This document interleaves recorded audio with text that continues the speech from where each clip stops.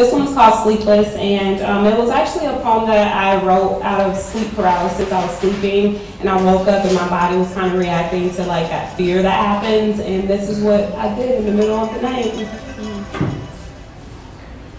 Sleep seems to escape as reality snatches away the beauty of vividly dreaming of those things that seem too far away.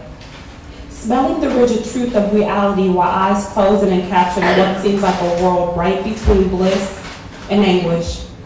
Your body jolts up, like electricity of reality had been shocked into your veins. Heartbeat unrhythmic, mind trying to comprehend why it was supposed to be peace, you're in a constant state of panic.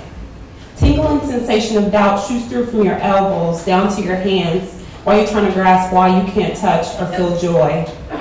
You try to stand, but your knees become weak with the pressure of life really hitting you hard. You realize that your people are dying. Bodies laid out on the street and there is nothing you can do about it. My black men are fighting to stay alive while simultaneously fighting to die. Gunplay in the streets where our kids play, right where the body of those babies lay. But see, this physical response I'm having to an emotional pain is mostly because I can't stop my people from being slain. There was nothing I wouldn't do for the black man and black family, but I'm broken broken into pieces because I can't even save myself. This heart pain, body shakes is slowly killing my kind heart and making me cold. Cold to those that pretend they love us, but build a system to keep us suppressed. My body can't stop reacting because I, I am stressed. Thank you.